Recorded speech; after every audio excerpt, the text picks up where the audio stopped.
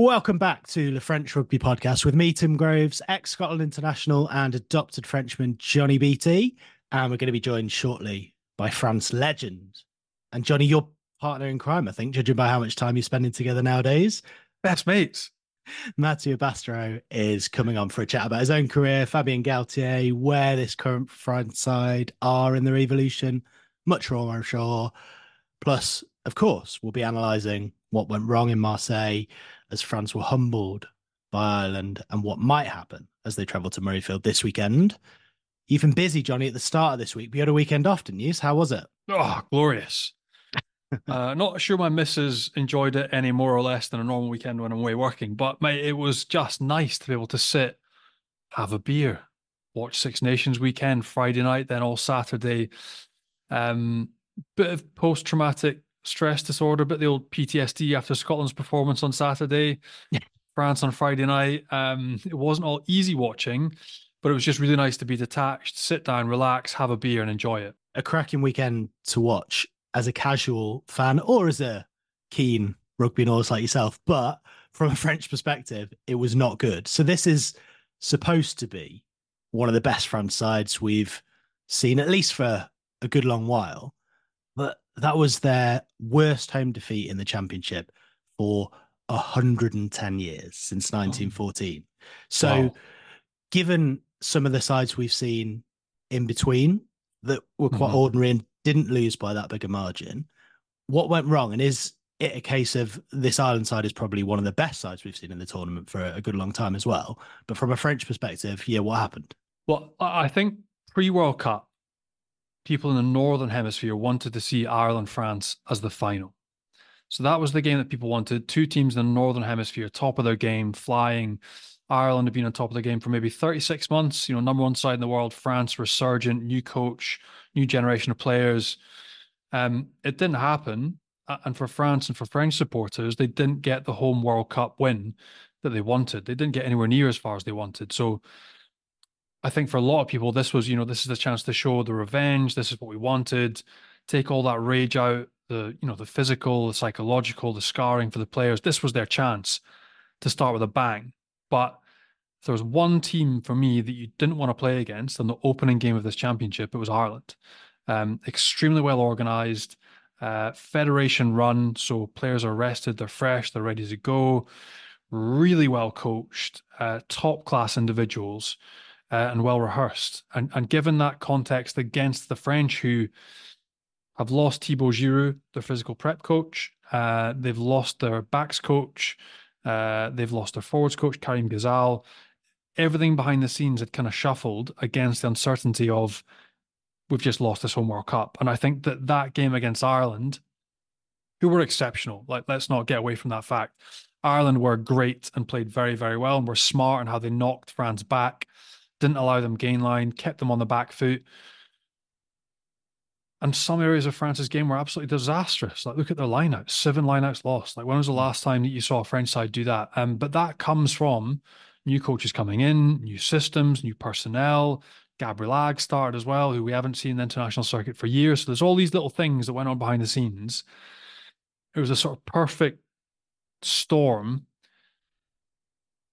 that was left to brew, and then the performance and the result was catastrophic for French fans, for the team, and for French rugby in general. So it hasn't been a great week. The backlash over here has been um, fairly monstrous, shall we say, to say the least. Um, and they're not happy. And, and look, this now leaves Fabien Galthié. Game coming this weekend at Murrayfield. This is the first chance potentially under his reign. Yes, they've just had their first and worst home defeat in 110 years in the championship, but the first time potentially they lose three on the bounce, which really would not be good. On game two for French rugby to be out of the Six Nations would be a bit of a shock. So loads of bits swirling around that sort of meant that it wasn't an easy game day.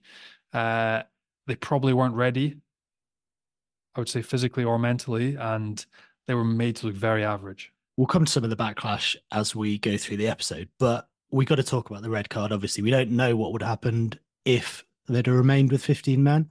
Paul Willemse is obviously a friend of the show, and you kind of mentioned it last week how much he'd be wanting to finish on his own terms and the emotional side of things. So it was tough to watch that, but he made two errors that were just big tackle technique, tackle height errors, weren't they?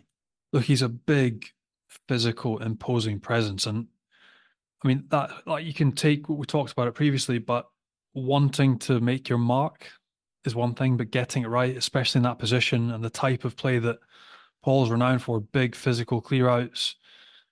Um, and he missed that World Cup because of injury. He wanted to make an impact. He wanted to make his presence felt. He just got it wrong twice, and that happens, right? People get it wrong, but again, that just compounded the scenario that already wasn't looking good for the French side. You look at yeah. all the components, you know, defensively, the try they shipped where Jonathan Danty's basically left clutching straws. They weren't getting their folding right, they weren't their numbers, but then your line out is then even further destructured. Your your scrum and your maul is underpowered. So, like Paul's red obviously had a big impact on the game. There were less to, left to play for probably 60 minutes of that game with 14 men, which doesn't help.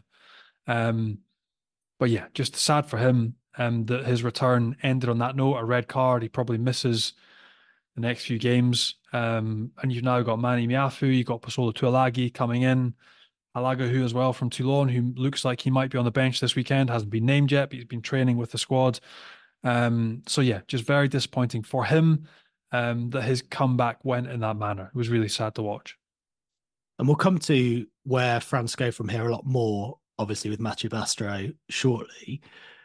But do they need to go back to basics a little bit, or is that too simplistic? Because they were built this France iteration on a good defense, a good kicking game, those kind of basic skills that you can rely on when there are big pressure moments. And that all seemed a little bit off against Ireland, who obviously are the best drilled side in the world, arguably. But that Shaun Edwards defense just seems like it's a little bit misfiring. They they've conceded four or more in four of 81 games, Shaun Edwards, Wales and France. Three of those have come in the last five matches with France. So there's something going on, isn't there? Yeah. But then it's a continue. We talk about this all the time. That that's the beauty of rugby and sport is that you're continually trying to evolve. I mean, you, you cannot win a game of rugby if your line out, like the statistic chance of you winning a game of rugby if your line outs of 50% is yeah. nigh on zero. So like you have to sort your line out. Your scrum, they weren't getting any dominance or penalties from that.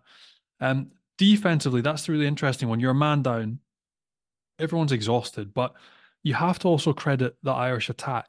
The the ways that they opted to to get their first phase options, you know, simple plays like from scrum, they were attacking blindsides, getting behind the French pack, uh, pinning them back, getting them on the back foot, and then never allowing them that upper hand. Once France were on the back foot, they never got a chance to, to sprint off the line and come up and, and make dominant tackles. So the Irish attack was also very cute and very effective. Um, but there are simple elements of their game, even things like Antoine Dupont not being there. And again, I don't think he would have made that much of a difference in terms of the general game plan because they were so much on the back foot and they had no ball. But his kicking game, you saw how Ben White's kicking game had a massive effect on Wales in the first half at Cardiff.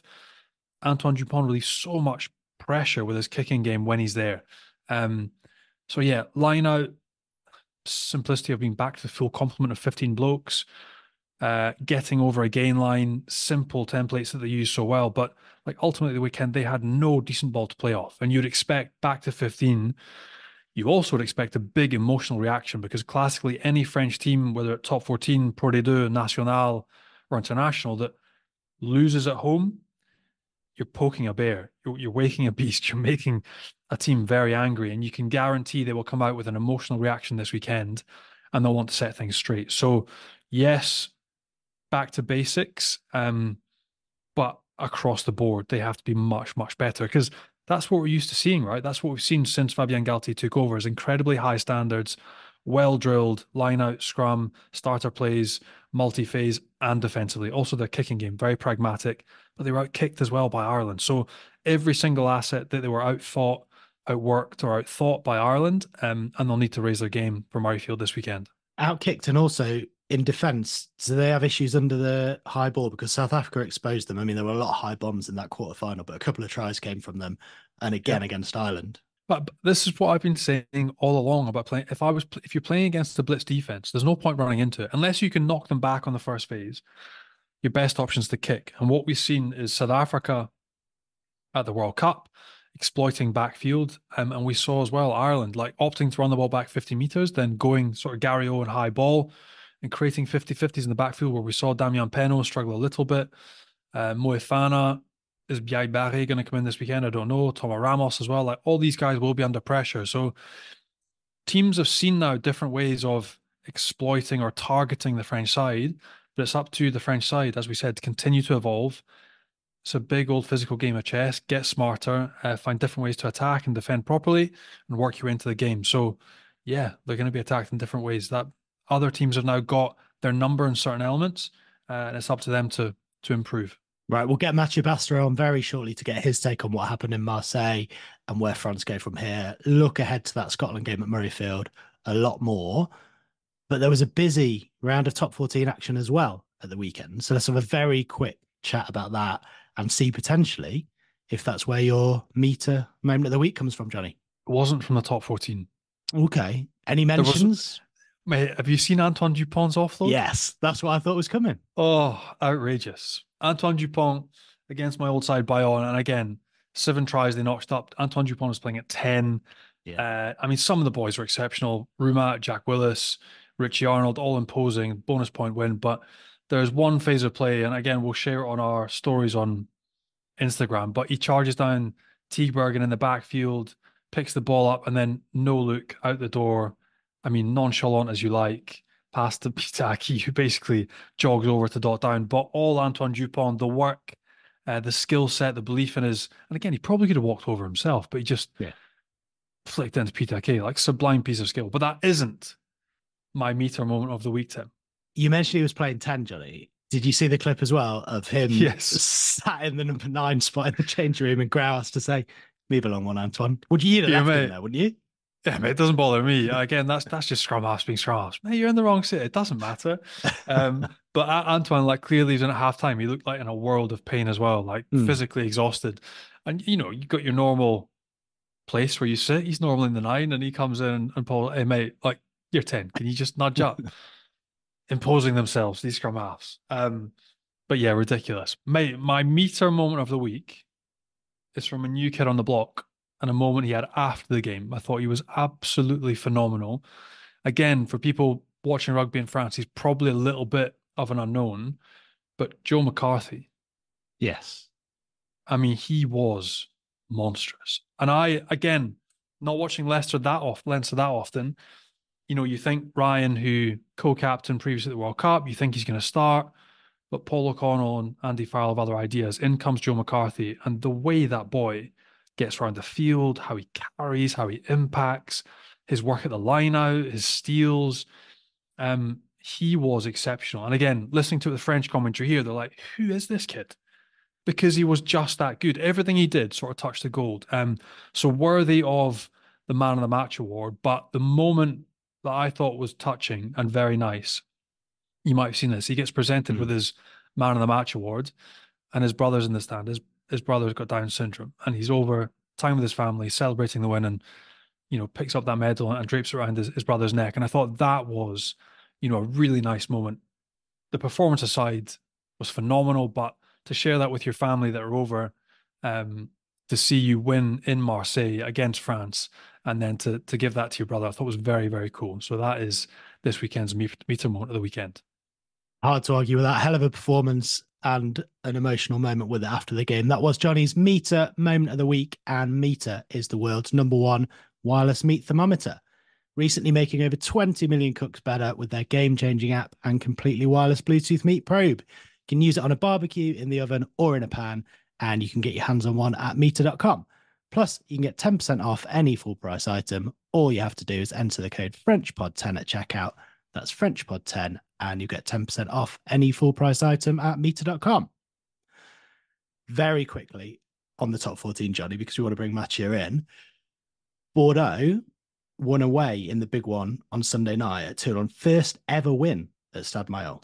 It ain't great for Toulon at the minute, mate. We're not going to talk to Basta too much about Toulon because I was down, and again, we'll chat about what we've been up to, but I was down with him in Toulon yesterday, which was Monday.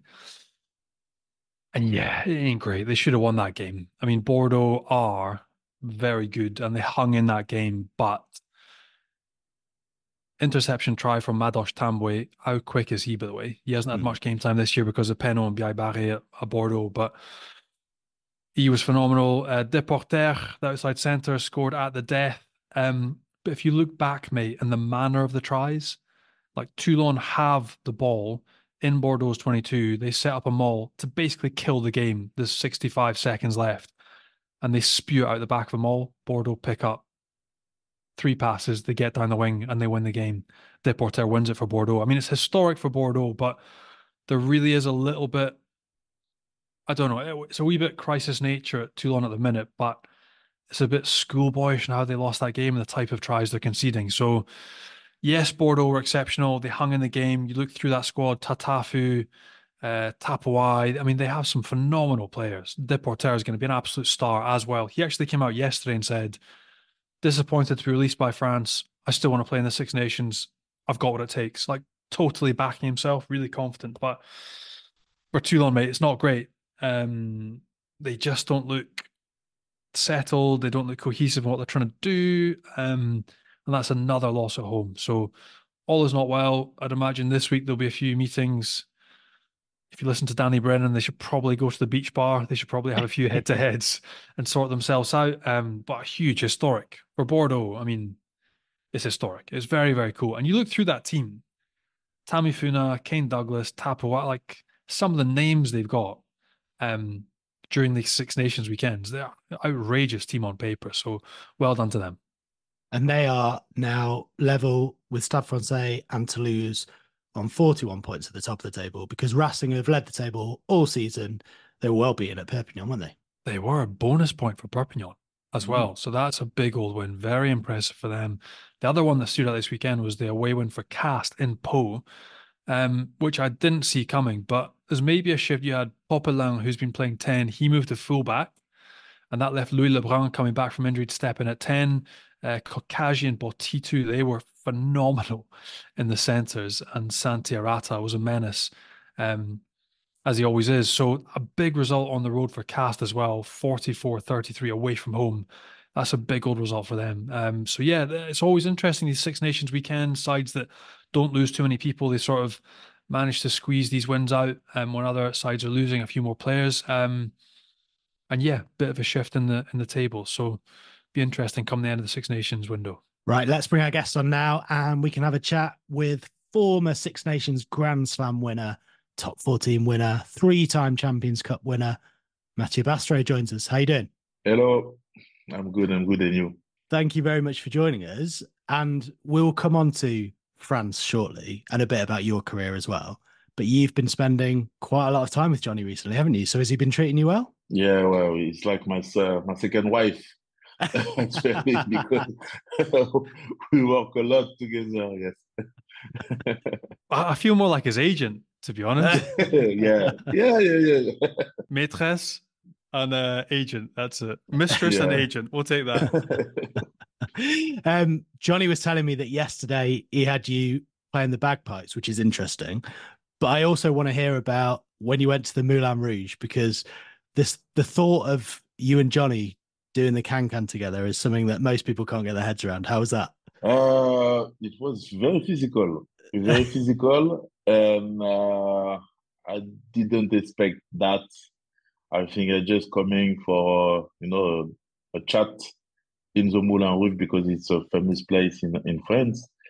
And uh, when I saw the um, the performer, I said, "Whoa, we are in trouble."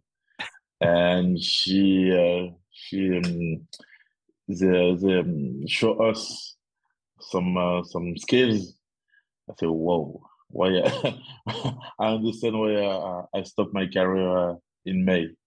I can't. Too physical. But that's the thing. I think for anybody that knows the Moulin Rouge, you don't go to the Moulin Rouge expecting to have a conversation. You go expecting for it to get physical in one way or another. But it, it was great fun. I mate, yesterday as well. I mean, playing the bagpipes on the beach in Toulon, that was also a very nice experience and a good surprise. And how is Johnny with the bagpipes, Mathieu? Because he's Scottish, so I'm assuming that he's really good with the bagpipes. He can play a tune, yeah? Yes, he's good. He's good. I think it's uh It's just you know second uh, second skin. You know, Yeah. it's easy for him, very easy. Put it this way, Basta and I are the same level. That's all I'm going to say. And that, that was my first time. That was his first time. Jeez, it's harder than I thought. Like I kind of took it for granted as a bit of a national sport, but um, like my lung capacity, clearly I have a lung capacity of a couple of crisp packets. Um, because it's hard work, really hard work. We also had Phil Fitzgerald. Don't know if you remember Phil Fitzgerald. He came down to join us. I played with Phil. We had one test together, played for Scotland A against Georgia in 2008, but he played for Toulon for like 15 years. Yeah, He's now a lawyer, Yeah. still working there. Lovely guy. Uh, and he came down and joined us for lunch and a bit of piping as well, because he's a real piper. Um, so it was good to have him join us too. yeah. When he came um, uh, in in Toulon, he was in the academy under 19 or something like that, and uh, he just fell in love with Toulon, and he stayed. He played for the for, for the senior team. He was captain, two-time uh, French champion of uh, the second division, and uh, yeah, he's still he's still here, and uh, he help um, he help the um, the club sometimes. Uh, we when we have some bad guy uh, doing some commission, UPCA commission, he help some guys. Well, what he's alluding to is when there's a disciplinary panel for Basta, which has happened a few times, Phil's the one that represents him, which is quite nice. Yeah, yeah. Excellent. We've covered the can can. We've covered the bagpipes. We should probably talk rugby. So, Mathieu, Ireland are a well-oiled machine. We know how good they are. But what did you make of the game in Marseille from a French perspective? Um, we was uh, we was in shock. We was in shock because uh, we all know it's gonna be a um, a tough game. Uh, but I think after five ten minutes, we was all like, "Oh, it's gonna be very hard," and because we we don't have uh, we didn't have ball um, in defense, uh, we were poor in defense.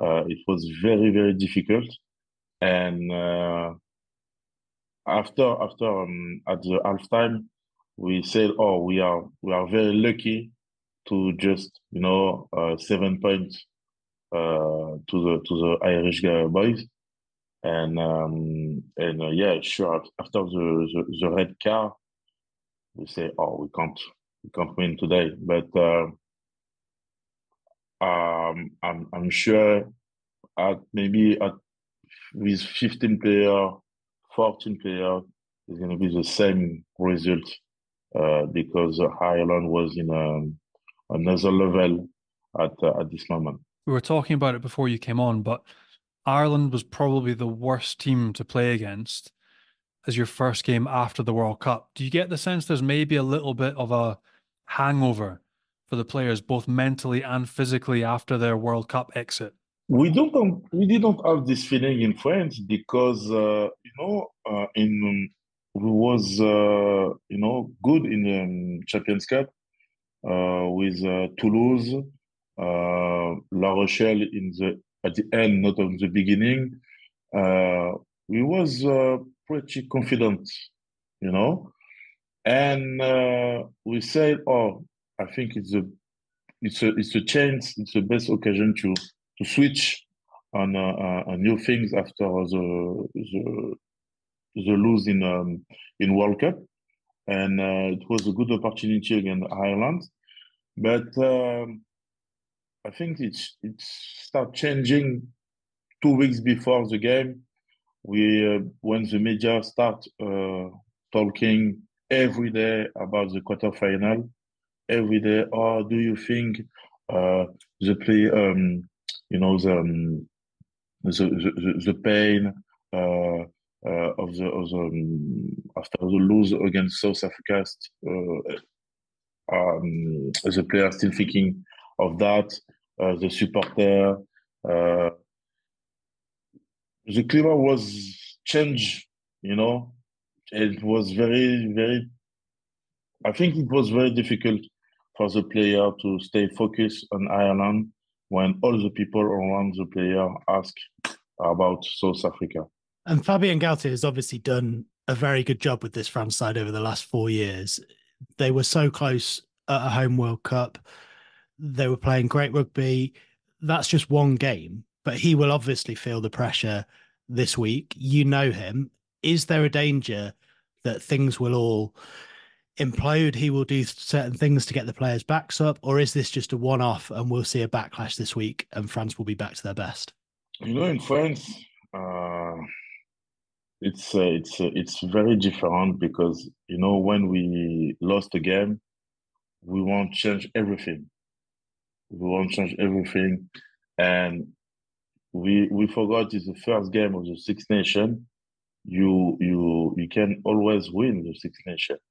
Uh, so I think uh, the confidence and Fabien Galthié um, um, change a little bit, uh, but we uh, we all know if we if we if if we win in Scotland, nobody um, talk on uh, on on, on this uh, lost again. So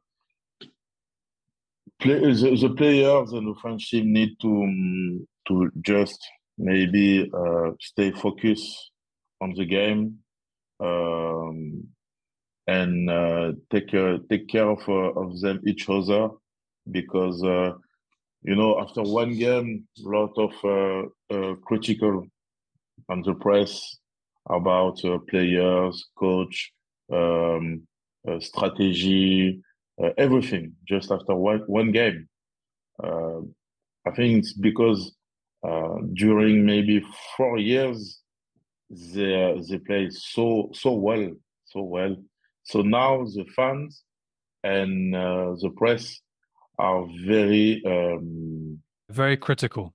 Yeah, yeah, they are very critical now because uh, during four four years they they eat good food with the French team and now, when you have maybe one time, two time pro food, you are very critical. They're used to those high standards. So when there was a dip in performance at the weekend, there was a big reaction over here from the media, from all the written media, from all the like from social media as well. Every, all the comment, all the comments and supporters were really harsh on the French team. But there must be an appreciation as well, Mathieu, for the rise in standards that the French team has had over the past four seasons because like we've had like different eras under different coaches before and it was a difficult period for French rugby whereas yeah. this is just a one-off game but the consistency in performance under Fabien has been much better and it has been well received right yeah and um uh, you know we say in France we have a, a short memory we have a short memory uh, me I was I was there uh, when it was very difficult for the French team. It was, uh, you know, just uh, we we finished maybe four, five as the Six Nation. It was a, terrible uh, situation for the French team, and and Galthié arrived with um, a, a, young uh, generation, and during four season, um, you know, they, they put the French team like uh, where um, uh, in the position uh, all the all the amateur in France want to see the French team compete with the, the best nation. So uh, after one game, you can't, you know, uh, um, you know, ask uh, uh, a revolution, change the coaching, bring back some player, out some player. It's too, it's too easy. It's too easy. It's a new adventure. Uh, it's a new adventure. Uh, okay, it's a, it's the same uh, coach. Um, maybe eighty percent of the player was in the World Cup, but it's a it's it's a new new new cycle, new uh, cycle for the next World Cup. Um, and in, but in France we are not passionate, so. And Johnny's been coached by Fabien Galthié and has told us what he's like. So, from your point of view, Fabien was your coach, wasn't he, right at the start of your career at Stade Francais, and then towards the end as well at Toulon. So, give us an insight into what he's like as a as a coach and as a man. Fabien is uh, maybe the best coach I had during my career. Um, me give me the opportunity to play in top 14 when I had uh, 18 years old in, in Paris. And uh, for me, it's, it was a, I was lucky because uh, uh, at this moment in center, you had uh, Liebenberg, uh, Messina, Stéphane Glas. There was Mirko Bergamasco. There was all in a national team. And me, I just come from my uh, um, um, young young team of Massy in third division, and uh, and it gave me the, the confidence, and I start my first game against uh, Toulouse, and uh, at Toulouse, so it was a it wasn't a, a good present because we lost, but uh, it's like that. But he's he's a big, better. I, th- I think he's the best technician I, I, I know. Uh, I had a lot of great coach like uh, Bernard Laporte. Bernard Laporte is, is I think is is the best I know for leading the the the players. You know, in the men. You after one speech uh, of him, you want to to go to you know to to to the war for him, and uh, it's the management is very different. And um, after, um, uh, it's why it's why I think uh, a lot of people are um, confident of Fabien because they know he's the best.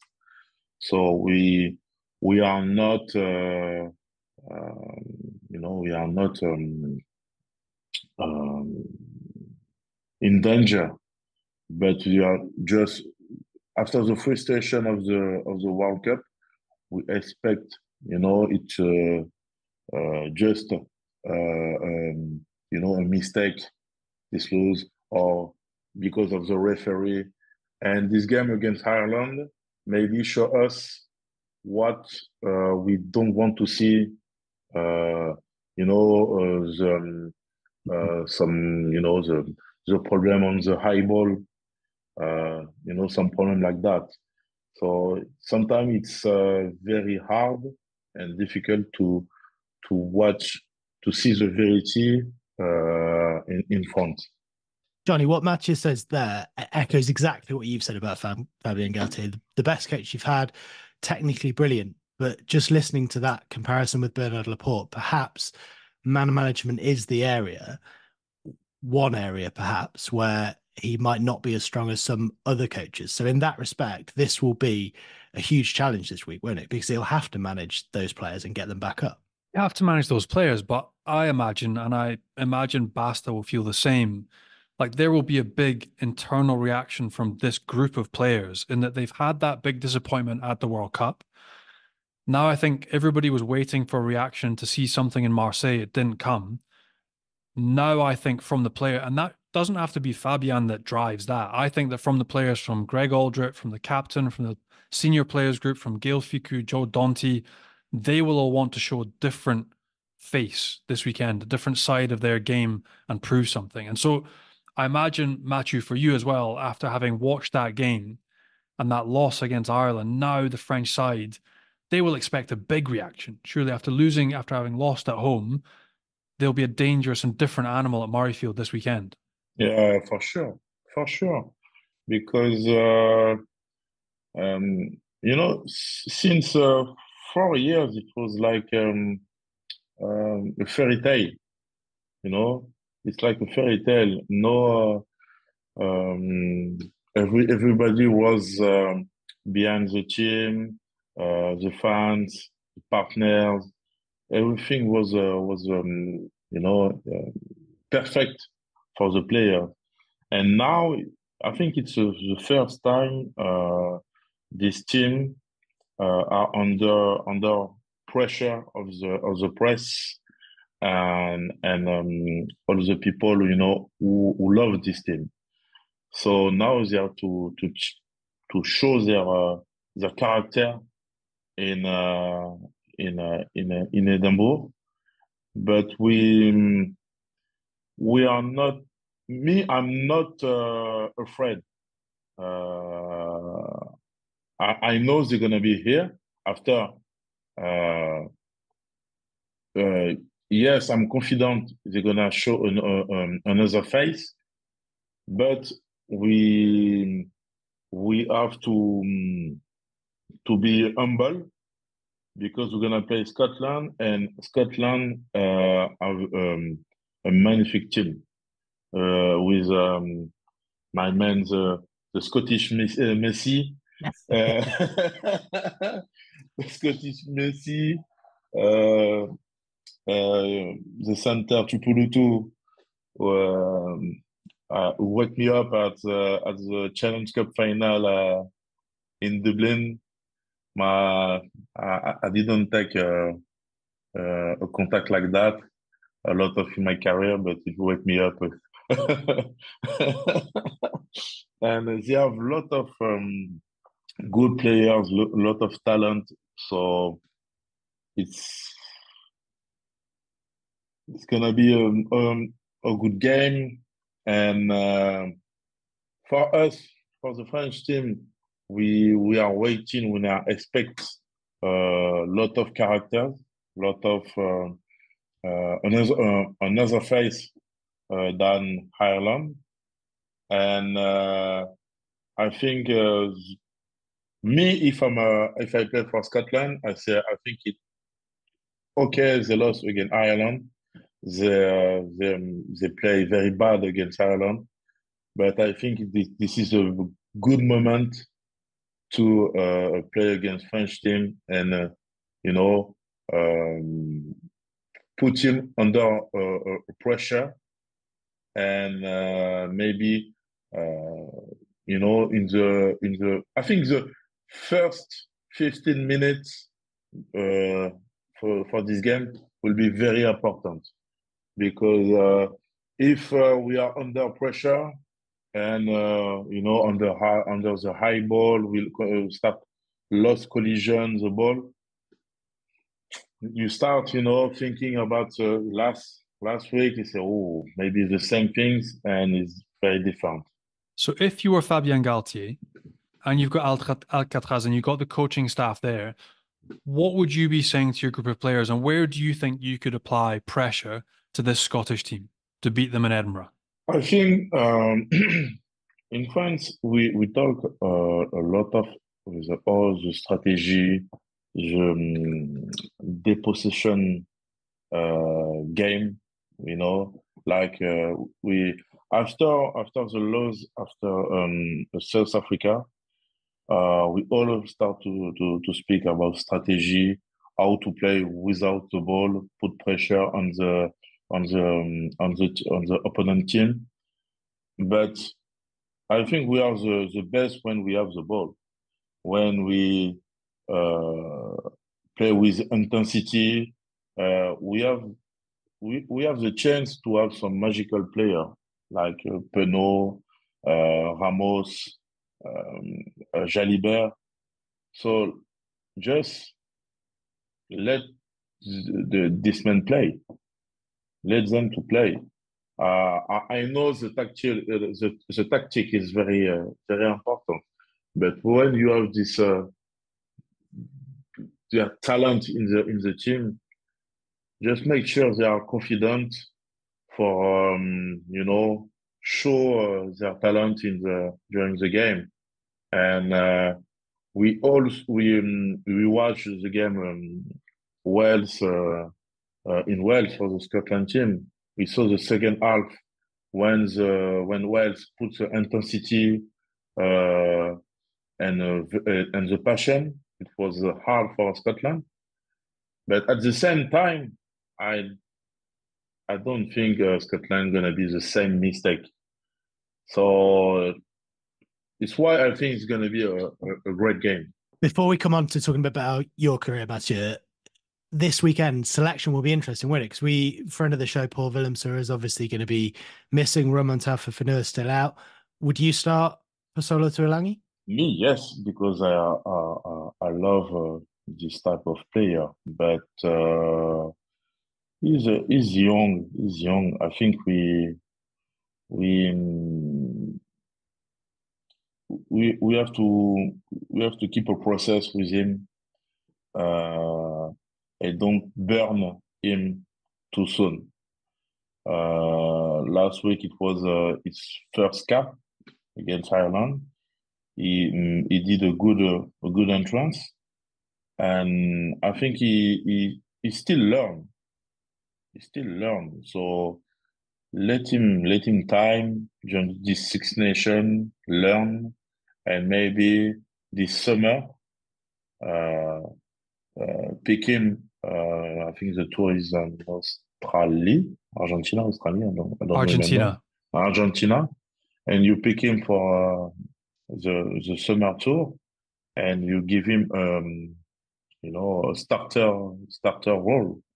But I'm I, I will be happy if uh, if he starts, but I don't want uh, you know they they burn him too soon because uh, it's a huge gap, uh, top fourteen and a French team, and uh, you know he play uh, every weekend is um, he, he, he play with at Perpignan.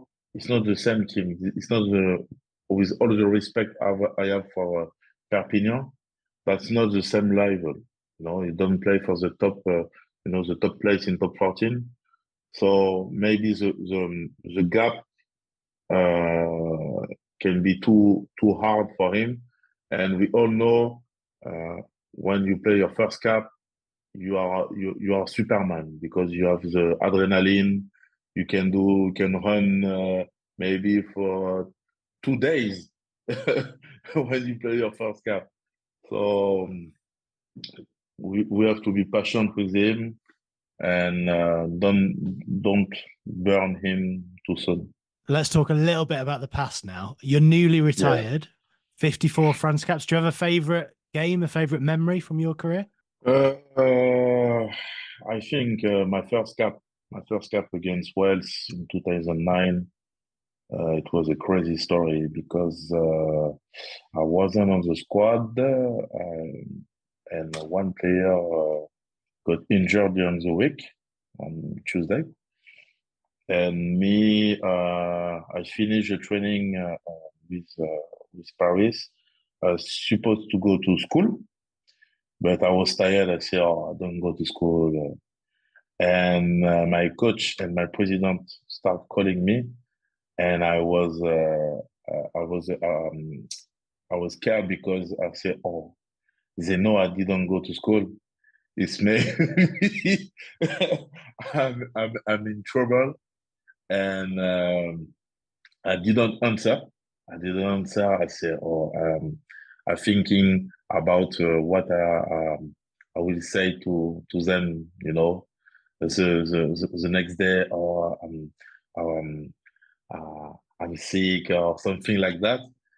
And uh, after I say no, okay, I, I call back the, the coach and I say, oh, maybe because he won't to tell to me I want to, he wants me to play this weekend. And he say, oh, what are you doing? I say, oh, um, I don't feel good. maybe, maybe I'm sick. He said, ah, you're sick. So you can go to the French team. I said, French team? he said, yeah, yeah, yeah. Uh, they need you. One player is injured.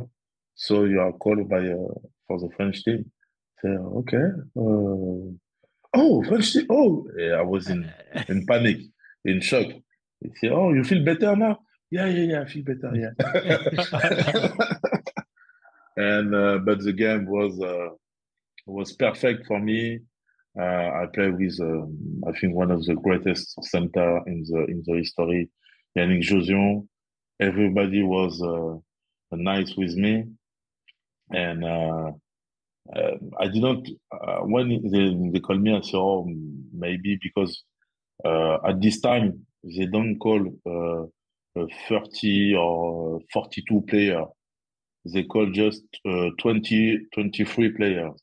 So I know I'm gonna play, but I didn't know I'm gonna start. So um, maybe after maybe one one training session, and it gives a team. I say, oh, okay, it's something serious. but yeah, one of the my best memory, and uh, after the for sure the the Grand Slam in 2010, uh, because I realized uh, uh, what is it to to win something with the French team, and uh, I remember the, when I was a kid and I watched all the all the players, uh, Dourthe, Dominici, Fabien Pelous, all the all, the, all of my uh, idol uh, uh, to this and me. I'm the now I'm the same place. Uh, it's, yeah, good feeling. Yeah, very special. And I thought you were going to say your favorite memories were actually just beating Scotland because I'm fairly sure we played against each other six times and I won none and you won six. So that was no contest as well. I mean, you like your international career was phenomenal. Grand Slam, what an achievement! But then also on the club level, I mean, it was the club side of everyone's dreams that you played with. You started with Stade Francais, but finishing with Toulon, essentially the barbarian side of the club landscape, playing with Jonny Wilkinson, Matt Giteau, littered with stars. You won the Champions Cup three times. So, what was that like? I think I'm the maybe I'm the luckiest player in the in the history because uh, uh, in Stade Francais and Toulon, I played with maybe the the best players uh, you can have.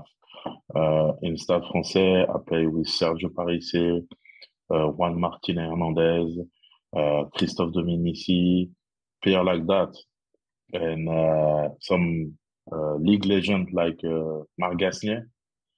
Uh, and when I signed in Toulon, I was I was a little bit nervous because when you play with you know you arrive and you have to play with Johnny, Matt Giteau, uh, Bryan Habana, all of these legend, they, uh, they, they won the World Cup.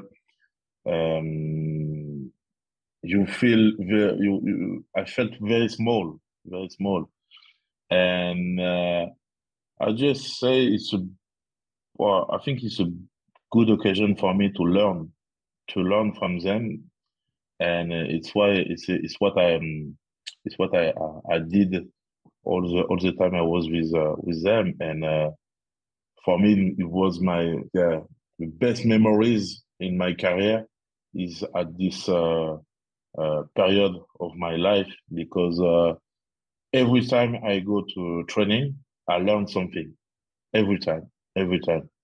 Uh, I learn from Johnny, from Matt. I learn from Chris Masoe, Carl Hayman, Bakkies. Every time, every day it was a lesson. So, um, and me, I remember I was the youngest in the in the in the team, and I I I have the same sensation when we you know when you coming out of the and uh, just before you go on the field, I just watch around me. I was like, whoa, it's it's a dream. It's a dream because you play with uh, one the 1 to the 15, uh, 30, uh, 23, it's all, all, all of um, legend. So um, I was lucky to, to be part of uh, this uh, generation. Very modest. I think they would all say they were lucky to play with you as well. Give you the ball, get on the front foot, steal of the course, ball back. Yes, of course, yes, of course, yes. There, there was lucky. There was lucky because uh, uh, when sometimes we, we had on, on a bad situation, they give me the, the shit ball to me. they're, they're, like, we're, we're too old. Here's the ball. Get us over the front foot. Yeah, yeah, yeah. Oh, we are blocked. Oh, basta. Give the. Absolutely. And you talk about learning just very briefly. We all know you as a as a world class international centre. And then at the end of your career, you clearly embrace that learning because you become a back rower. So just talk us through how difficult that is. We know you went through a lot of injuries as well towards the end of your career, which must have been mm. mentally very difficult to get through. But physically, that transition from going from a centre to a back row as well, that shows a lot of character to do that. Yeah, it's a different rugby. It's not the same when you play backs and you play forward. It's it's not the same thing. And uh, I remember after my first game, I said, "Oh, I have to apologize." Uh, a couple of times, um, I scream on you guys because uh, it's very difficult because you have to you have to lift you have to you have to lift run to the to the rock uh, and um, you know uh, know the the call in line out uh, know your role uh, go everywhere on the on the on, on the pitch. It's not the, it's it's like a marathon. It's like a marathon and uh, um, it's why I, um, I put a lot of respect on the on the forward now.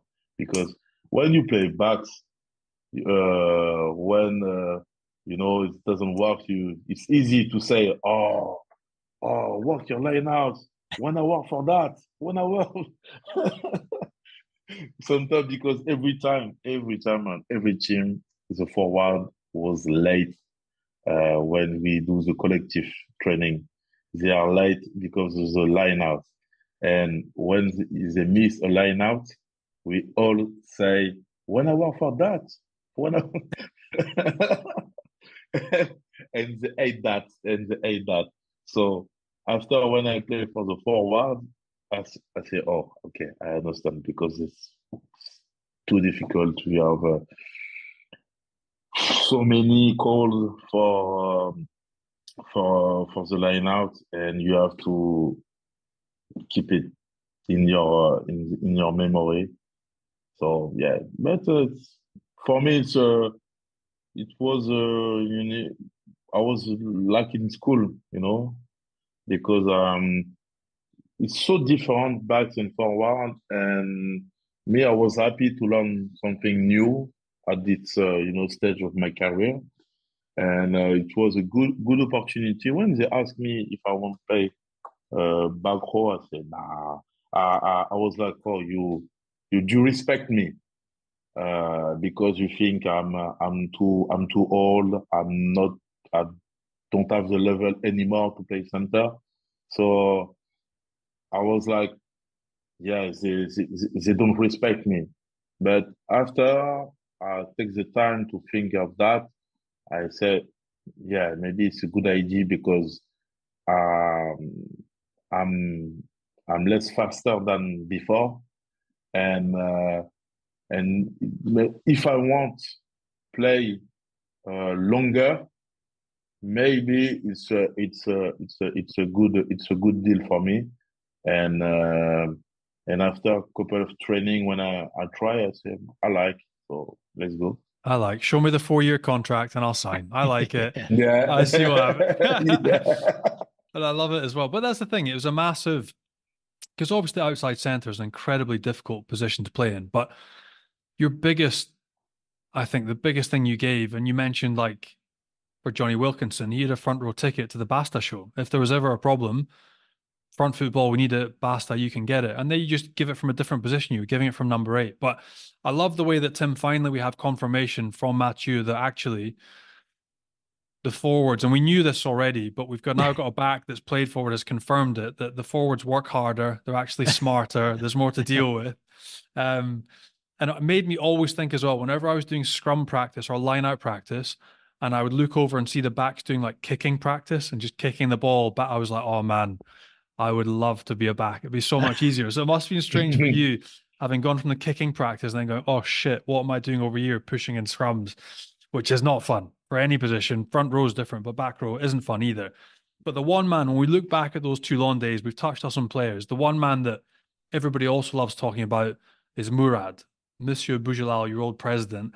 Yeah. And again, you, you were telling me a couple of nice stories, but like you must have some great stories which involve him as well from over the years at Toulon.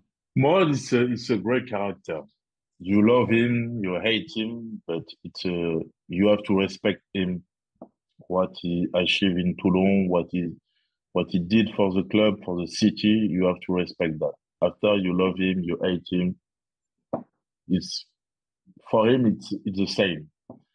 And uh, me, I remember after the first Champions Cup we won in Dublin, and uh, we say we don't go out because we are the we have the semi final uh, against Toulouse uh, the the next week, and we stay in the hotel, and we celebrate in the hotel, and uh, maybe at two a.m. three a.m. Uh, we lost the trophy. No trophy in the hotel. We try to uh, we, we we don't know, and we ask the the security, uh, um, is the trophy? He said, "Oh, Mourad take him. Why take him?" So we have to go in the find the the the Mourad uh, Mourad room, and we take back the trophy, maybe for two hours, and he, he, he called the security of um, his security man he said, bring back the, the, the, the trophy. We say, okay. We let the trophy to, to Mourad. But after all the bills, all the champagne, beer, we put on his room bill. we put we put everything on his room, and uh, the the um, in the morning before he said, "Oh, I don't understand why I have, why I have to pay that." It was all like. and it's a different era now at Toulon, and you are the team manager now. So how are you finding life after playing in that role? And give us an idea of what your job kind of involves on a day to day basis. Oh yeah, it's a, it's um it's a, it's totally different for me. It's a, it was a good opportunity. Uh, me, I wanted to maybe play another season or uh, stop and um, coach under 18. But uh, I, I, felt my body was, you know, it was too difficult for me to for playing another season. So uh, um, I wanted to, you know, to to coach under 18, and the coach Pierre Mignoni asked me if I want to to to, to stay with uh, with him with uh, as a, a team manager. Um, you know, team manager. Uh, it's you know I I, I know uh, Tom Whitford. You know, but you never know all the job you have to do uh, as a team manager. So for me, it was um, you know it was a. Uh, I, I take that like a new challenge new challenge and uh, and uh, and stay close to the to the team, to the new player, new new generation. Um, I, I try to to give uh, you know some um, um, advice uh, what it means to play it for Toulon uh, because uh, Toulon uh, is not the it's it's a place very very um, different than another place in France. Uh, you have a lot of pressure uh, from the fans. Uh, you know, we say every time it's like Marseille in, in football. Uh, the people here are very uh, um, passionate they love uh, rugby. They love their club, and they don't like um, when you when you cheat. And um, and when some me, I remember when I signed for Toulon, I had maybe one year of uh, for my adaptation at the at the city uh, and the and uh, in the city in, the team.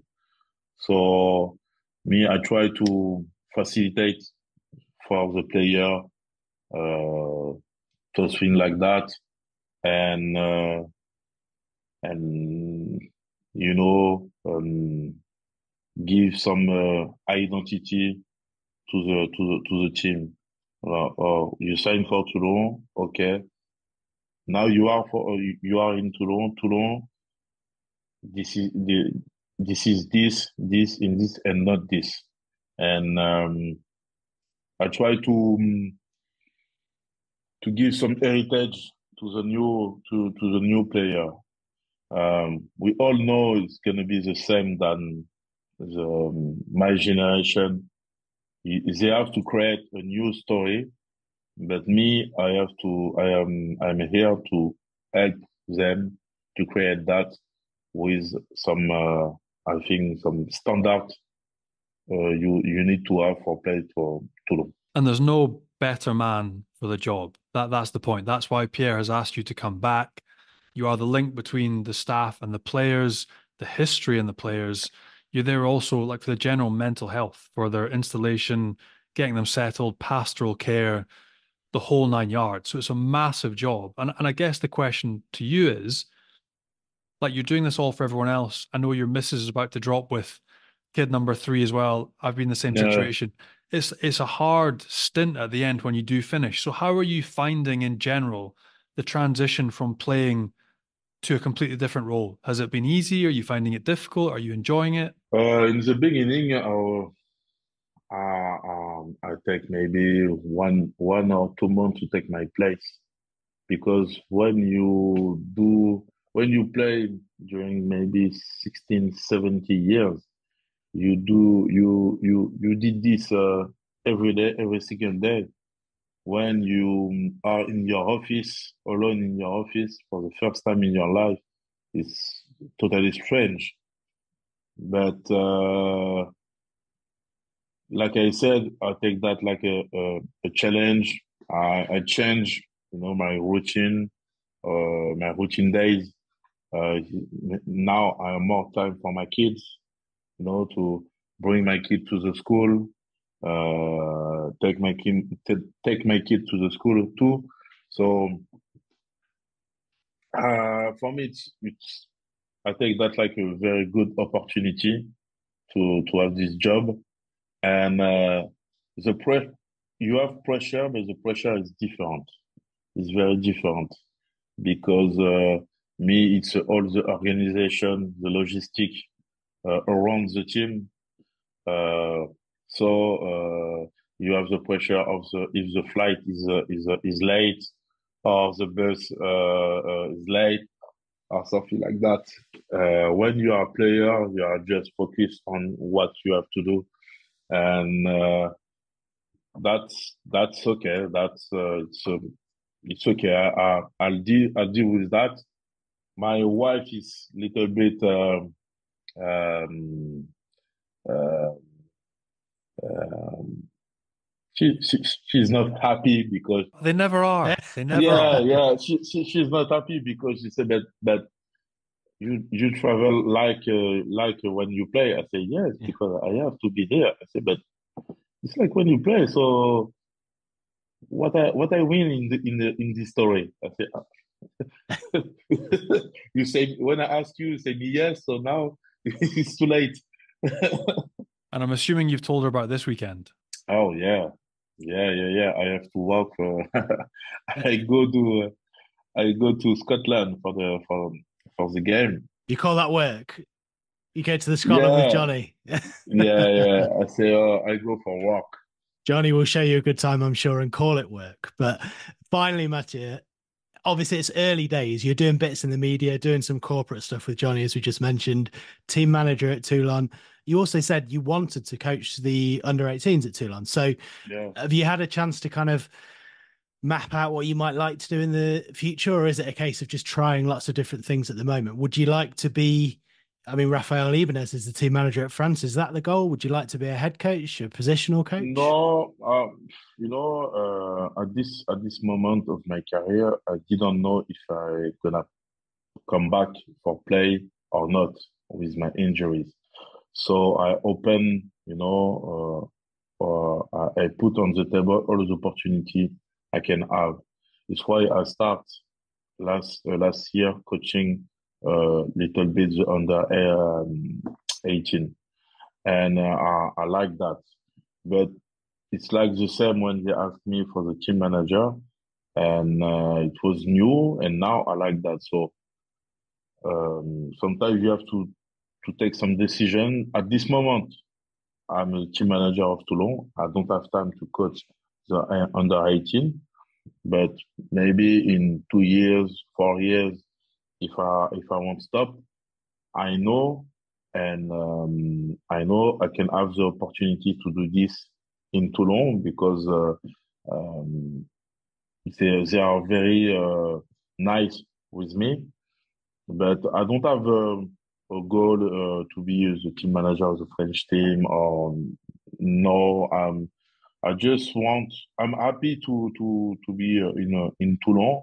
I just want uh, uh, anything anything I can do uh, for you know put Toulon uh, like when I played in the top place in uh, uh, Europe uh, and uh, you know re- recreate something and that we I think we we lost those years and um, now it's my only goals now. Matthew, thanks so much for coming on and talking to us. And good luck this weekend with the um, Uh, work, work, if we can call it that, with Yeah, Johnny. it's a work. It's a work.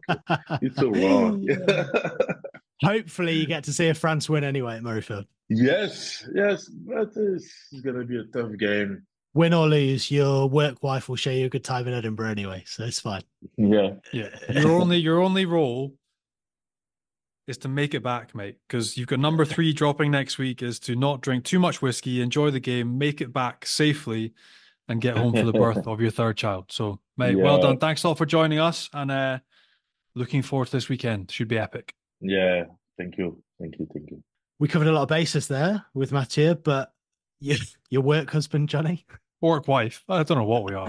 whichever way around you are, yeah. We're, gen- we're gender fluid these days. I don't know what Yeah. we are. Um, he's probably big spoon though. Let's let's not kid ourselves. He's a big old boy. Um, mate, great to have him on. Like, He's he's a great egg uh, and loved by everyone over here. He's just, and again, he had that sort of when he was playing like the image of like big like baddie, you know, big bastard. Like he's he's a big softy, really nice boy. Um, and yeah, like again, doing different bits. So working away with Toulon, he's obviously been a legend of the club, legend of the French team. He's now setting up his own bits. Um, I was filming with him yesterday. So if you go on YouTube, if you're a French, if you can speak a bit of French and tap in Basta Show, you'll find his new show. He did week one with Baptiste Serin to preview France Ireland. We did this week in French to preview um, Scotland France. So he's, he's dipping into different bits and, and like all of us, just finding his feet. But um, a top man um, and an absolute legend of the game. So let's carry on looking ahead to Scotland France then. You're obviously going to be there with Basta. What did you make of Scotland last week, Johnny? Much has been said about it in the days afterwards. What did that second half from Scotland say to you about them? It, it's hard. Um, I, I think it shows what we already knew about Scotland, which is that they can be absolutely fantastic and on their day give everyone a run for their money, and then they can be not fragile, but they're- also you can take them. You know, if you've got power and you generate intensity, like Basta alluded to, you can pressurize them on the gain line. They then get squashed and they they panicked a little bit in Cardiff, gave away penalties. I think it was something like 14 or 15 on the trot. Um, so there's nothing we didn't know. When they have ball and they're up against easy opposition, easy. Gatland, by his own admission, that first half, that's the worst 40 minutes rugby he's ever produced as a coach. They were shambles. They won no line out ball, no platform. Their kicking game was embarrassingly poor, and it was easy for Scotland. You had Ben White, his kicking game, superb. Uh, Finn Russell as well, superb. And, and Scotland didn't really have to do much to click into gear. And when they did, they were outstanding. Second half, and this is where the PTSD came in. Um, 26 unanswered points. You're 27 nil up. If that's New Zealand or South Africa, it's a 60 or 70 point game.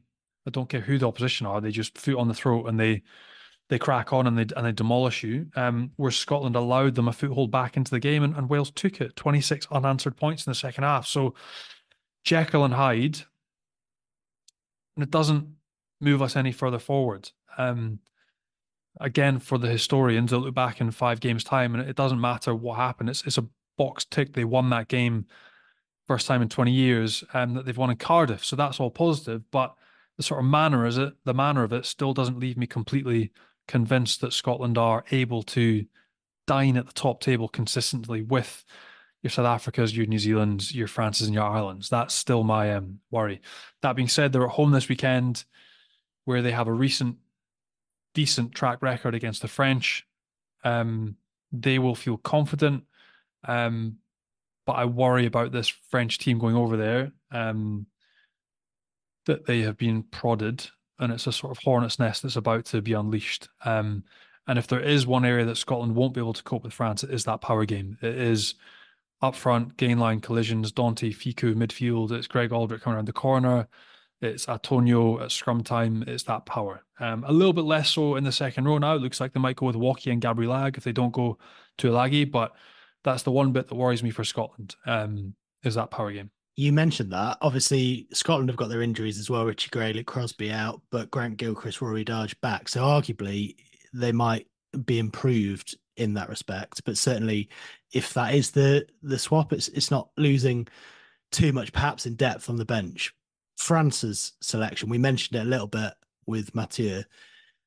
You said it there. If it's Gabrillagues is that underpowered a little bit? Would you not go for someone a bit more physically dominating? And you mentioned Halagahu, who might, might be on the bench. Yeah.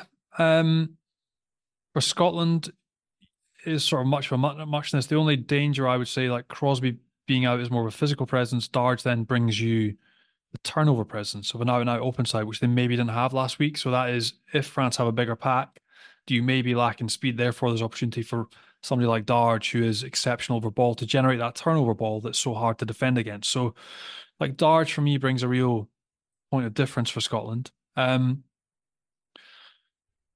for France, it's weird. I mean, yes, maybe if you're moving a big old unit like Paul Willemse at five, you're bringing in Woki, but then you're maybe probably boosting that line out that was shocking against the Irish. So you maybe have a little bit less power, but you're getting back your set piece and your ball at source, which you didn't have last week, which gives you a foothold in the game. So I, I don't know, everything to be balanced. Then obviously you got Tuilagi and maybe Mathias, as he alluded to, Halagahu coming off the bench, but they're very young. This is the thing. Like Manny Meafou would be more of a sure thing, I would say, like more game time, more experience, more know how around big games, having been there and done it for Toulouse, whereas Tuilagi and Halagahu, it's a different level they've been playing at this year. Um, so yeah, may, maybe a little bit in power shift out the starting team, but mate, they need to short to shore up their line out. So you could see why they would bring those two boys in to start in the second row. And are you predicting a France backlash? Are you predicting a Scotland win? Where, where, where is it going to be more than the loss? Is it that physicality again, or do you think Scotland can play around France? I don't know. You look at, for instance, the try that Scotland generated, um, where Finn Russell essentially walked under and gave Duhan van der Merwe a two on one. Um, and that comes from the distance of pass from nine to a cell, eliminating defenders, and then a second phase repeating the same with that pod of Tuipulotu, Hugh Jones, and Finn Russell at the back. That's their pivot, and that's how they generate space. If they're allowed to do that at Murrayfield, I think it could be difficult for France. If France get the upper hand physically and with their blitz defense at fifth, at the full complement of 15 men on the field, I think they could beat Scotland at Murrayfield. But like weirdly, I, I think Scotland go into this game as favourites. Um, which I probably wouldn't have said, generally wouldn't say, but I just think given there haven't there hasn't been too much change to the Scottish backroom staff, the players all know each other inside out. France has a little bit of transition uncertainty, and therefore that knocks confidence. Either they come out health leather and they obliterate everything, or they come out and they get things wrong. And against Finn Russell, you don't want to be overreading, over chasing, and getting things wrong. And that's where feel they might just have one or two opportunities that they create by defensive creaks. As we mentioned, the defensive record, four tries in the last couple of games.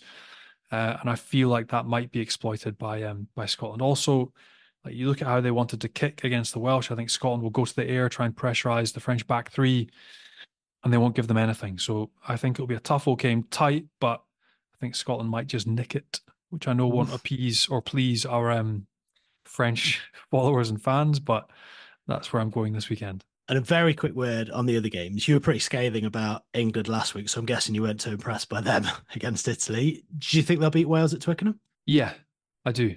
Um, and I think they'll have too much. Um, and I still don't think they show that much.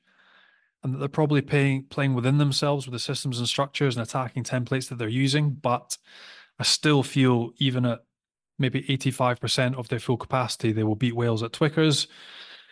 And then I actually, the other team that I was really pleased for and impressed for were Italy under Gonzalo Quesada. I mean, they're going to Ireland, they're not going to win in Dublin, but that was a big positive statement performance. I know they lost the game, but touching distance of beating England. Um, and I was really chuffed for Gonzalo Quesada uh, coming in, new coach, well received by everybody, uh, positive display. Um, so it was really enjoyable to watch them play some nice stuff against English as well. Thanks, Johnny. Big thanks to Mathieu Bastareaud for joining us, and thanks to all you guys for listening.